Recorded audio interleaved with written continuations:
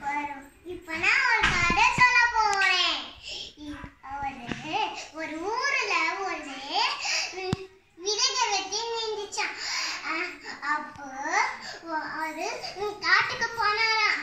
அது காட்டுக்கு போய் ஒரே இந்த மரத்தை வெட்டினாராம்.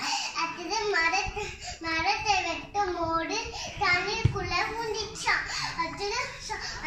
சோகமா உட்காந்துச்சு அது இவங்க சோகமா ரொம்ப நேரம் உட்காந்துட்டு இருந்தாங்க அது தண்ணிக்குள்ள இருந்து ஒரு தேவதம் வந்துச்சான் அந்த தேவதனை கேட்டுச்சான் நீ ஏன் இப்படி சோகமா உட்காந்துருக்க கேட்டுச்சான் அது சொன்னாரு என் கோடாளி தண்ணியில ஊண்டிச்சு இதான் சரி நான் எச்சு வரேன்.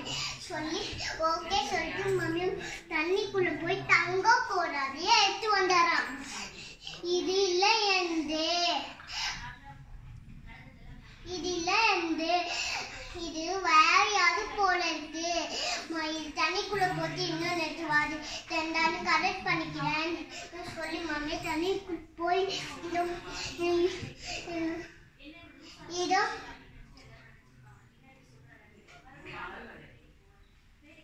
Oops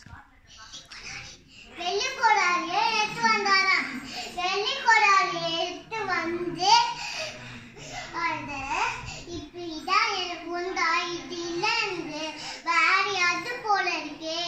இந்த நீ தான் தண்ணியில போட்டுருப்பா போல இருக்கு.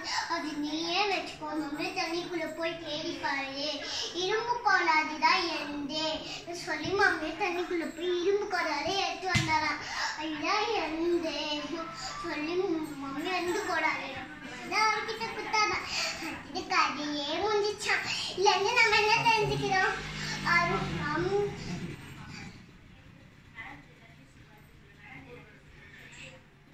த்ரீ அவரு நேரம்படியா இருந்ததுனால அவருக்கு தேவரே ஹெல்ப் பண்ணிச்சு.